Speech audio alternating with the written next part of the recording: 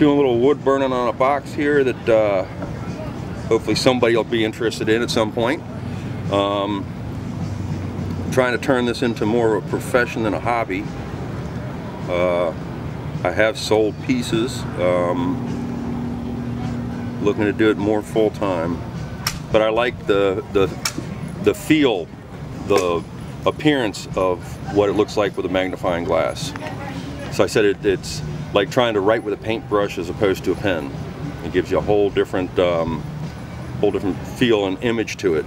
It's very meditative for sure. I told somebody a while ago, I said, yeah, when I die, one of the things I'd like to have people refer to me as, other than what they're gonna refer to me as, is an artist.